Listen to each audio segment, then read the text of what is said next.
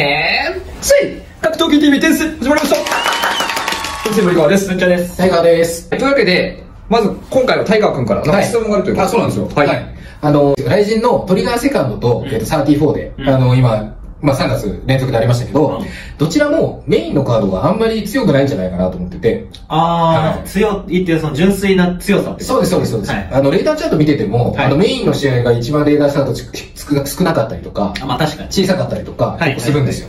その階級の中の強さ的にも、うんね、一番じゃないような試合だったりとか、うん結構多いと思ってて、なんかそのあたりってなんかどうなのかなっていう。まあね、はいい、ろんな要因あると思うんですけどね。一番はまず、国内選手だけでカードを組まなきゃいけないっていう、そのコロナ要因。ああ、確かにね。うんそうだね。があって、うんカードを組みづらいっていうのがまずあるかなと。確かに確かに。そう、結構雷神って海外選手に頼ってて、うん多分大会の半分ぐらいは外国人選手で前まで埋まってたはずなんだよ、はいはいはいはい2020年までの。うん。だけど今になってみると、国内選手だけで組まなきゃいけないから、うんっていうところはあるかもしれない。そう。まあねでにもかかわらず、トリガーとかランドマークとか大会増やしてるじゃないですか。そう増やしてるね。うんそうだからなおさら選手層が薄くなってくる。確かに確かに。そうだね、こう伸ばしてる感じだからね。うん薄く伸ばしてやってる感じだから。まあね、確かに確かに。まあ、それはね、それはあるかもしれないけど、でもさ、同じね、大会の、一つの大会で切り取ったらさ、うんうんね実力的に強いカードを一番トップに持ってきた方が、まあ確かに、今やってることはわかります。UFC とかだと、やっそうそうそうそうぱタイトルマッチがやっぱメインになってくるじゃないですか、そうそうそうナンバーシリーズなるしね。まあそういうところと比べてどうなのってそうそうそうそうことですね。だし、タイトルマッチじゃなかったとしても、うんその、その階級の中で、まあ一番その、なんだろうな、位の高い試合というかはいはいそれをメインに持ってくるのがいいんじゃないかな。まあ、まあね妥当なのかなっていう。K1 とかうんライズとかね、そういうのもそうだよね、基本的にはうね。ん。なんかそれがなんか自然な感じなんですよ、素人からすると。なるほど。うんまあそれはわかります。うん。じゃあ、テスト森川の意見はどうですか？うんまずね、ちょっと立ち位置が、まず考え方がまず違うんですよ。うんまず UFC はスポーツ。はい。で、ライジンはエンターテインメントなんですよ。なるほど。もっと言えばプロレスなんですよ。うん。おお、そこまで言っていいんですか？はい。プロレスだと。はい、プロレスだと。これはちょっとありますよ。これは。あ、じゃあこれみんな八百長してるってことですか？仕事が悪いだけで。ああ、別に。そういうことですか？いや、プロレス八百長っていうまず考え方はちょっとやばいですよ。それあ、それもそれも地雷やりすぎる。怖すぎる。それはそれでまたやばいです。プロレスっていうとなんかそのシナリオが決まってててみたいないう感じのイメージはあるんですよ。まあ素人だからですよ。だからそこまでのプロレスではないんですよね。だからあ、エンターテインメントなんですよなるほどどっちかですうん。エンターテインメント。はい。うんで、まあ、そのな、なん、どういう意味かっていうと、うんまず、歴史とか流れがあるわけですよ。日本の。そうね。で、日本のまず、格闘技の歴史ってどっから来てるかっていうと、まずプロレスから来てるんですよ。なるほど。うん第一が。うんそうね。そこから、だんだん、この、ライジンとか、もっと、もっと前で言えばうん、ドリームとかプライドとかうん、っていうところが来てるわけなんですよ。なるほど。脈々と流れてきた歴史とか、うんそういうところからライジンもあるので、うんそうなるとプロレスの要素っていうのはものすごく含まれてるわけですよ。なるほど。で、プロレスって何かっていうと、ただ八百長で、どっち勝った、あっち勝ったじゃなくて、いかに盛り上がるものを、うんえ皆さんにお届けするか見せるかっていうところがプロレスなわけなんですよ。なるほど。別にただ八百長で勝った負けたをやってるだけじゃないんですよ、うんプロレスって。そういうところを、ライジンも引き継いでるんで、いかに盛り上がるカードを作るかってところが大事。なるほど、なるほど。うんうん。だから別に強さがどうこうじゃなくて、人気がある選手がやっぱ一番メインを飾るっていうのは、これはもう当然というか、なるほど。歴史を考えていけば当たり前のことなのかなっていう。なるほど。そうしてくると、考えるところとしては、うんあの、例えば萩原選手だったりとか、うん平本選手だったりとかって、うんあの、もちろん花あって人気あるじゃないですか。うんまあだからメインをやったっていうのはあると思うんですけど、一方で、昔からコツコツやってきてて、なんか悪かったりとか別に入れ墨入ってたりとかしないけど、ずっと真面目にやってる実力派の人もいるじゃないですか。いるねなんかそういう人たちにスポットライトが当たらないっていうのを言ってるように聞こえるんですよ、それって。いや、そんなことないです強ければスポットライト当たりますよ。なるほどサトシ選手とかさ、はいはいはい斎藤豊選手とかさ、うんそういうタイプでしょ。うん。あ、もちろんもちろんもちろん。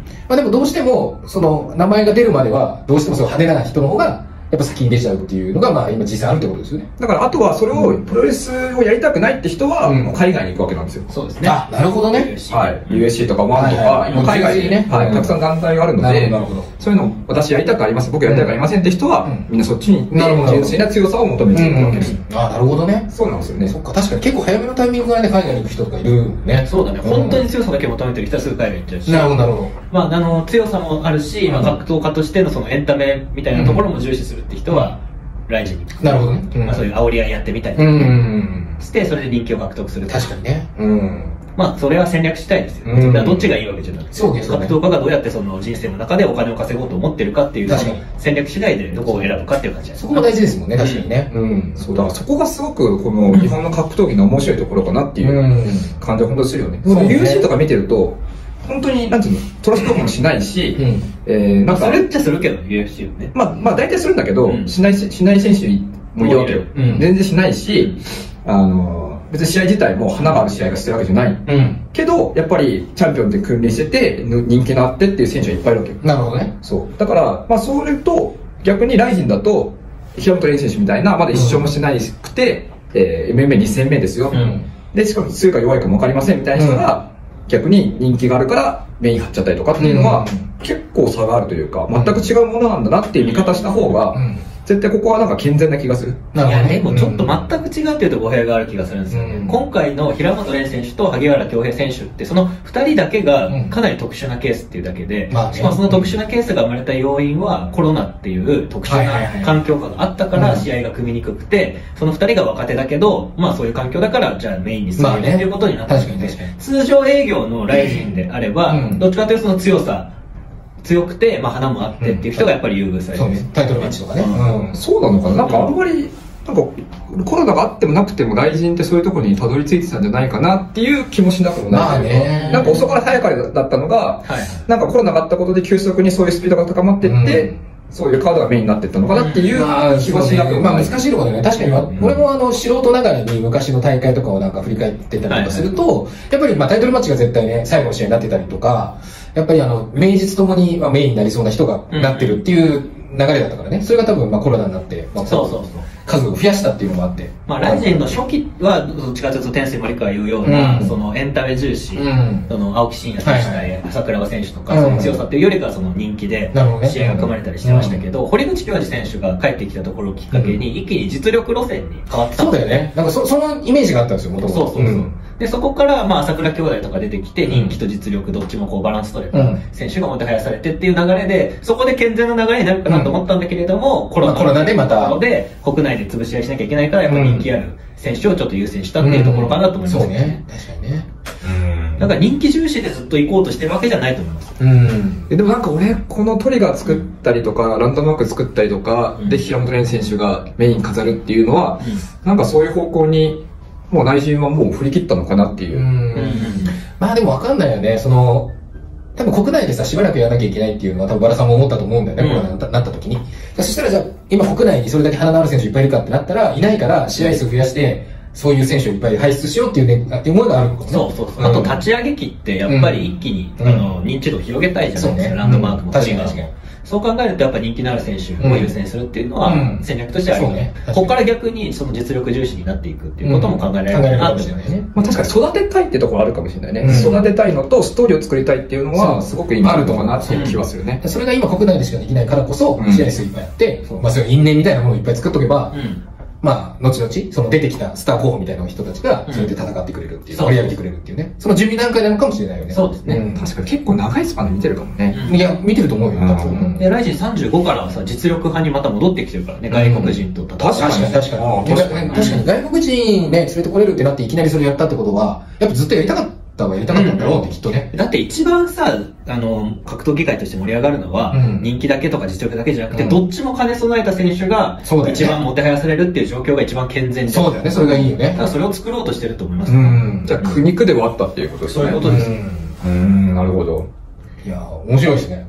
なんか、答えがわかんないけどね。わかんないけど、うん。で、まあ今いろいろ話をしてきたわけなんですけど、うん結局、あの天水森川はどういう風なだ団体に大事がなってたら満足なんですか？もう USC ですね。マジか。もうひそ完全にそっちに振り切る。もうね、正直そのストーリーとか、うんその人気がある選手同士とかって、天性あんま興味ないんですよ。なるほどね。本当ね、一番トップとトップの争いだからこそ、やっぱり迫力があるし、うん物語ができるし、うんっていうところだと思ってて、なるほど。で国内団体から最強が出てきて、そこが最強を決める場所。そうそれがねまあチャンピオンズリーグみたいな感じですね。ワクワクするんですよ。はいなるほど、なるほど。うん、やっぱそうなってほしいなと思いつつ、なるほどうんまあでもまあこれ来週の来週で面白いので、うんこれでいいかなと思いつつ、うんはい。ぶっちゃさんどうですか？ぶっちゃ的には、まはあ、ミクルとかカイとか人気も実力もある選手うん。が、えー一番もてはやされるというか、うん。メインが張れる。それがいい状態なのかな。確かにね。そうしたら、やっぱり格闘技人口というか、裾野がどんどん広がるんで、そうね。強さだけ重視しちゃうと、ちょっとね、オタクっぽくなっちゃう。はいはいはいはい。一般の人は入りにくくなっちゃうそうね。一般の人が一番格闘技に興味持ってもらえる状態っていうのを、まあ、目指してほしいなと思いますけどわかりましたまあ、確かにな日本ってその土台がまずないかもしれないね、あれですね、こういう古臭い人間がいると、格闘技の進化には妨げになるってことですね。こういうやつがいるから初心者が入りにくくなるそう。そう確かにね、はい。そういう人がね、あの、ダメにするってことよくありますからね。そうなんです。あの、専門的なさ、ん。あの、経験者じゃない長渕スタイル長渕スタイルみたいなさ、よそ者黙ってるみたいなの。あるもんね、そういうのね。うん。まあ、そういうのを改めるためにこのチャンネルをね天水森川先生がはい。始めてくれたわけそうですね。はい、そういうことです。それ分かってるのはい、なるほど。それ分かった上で、すごい。はい、皆様にね、すごい。お見せしたいなと。すごいですね。はい、というわけでございます。はい。ありがとうございます。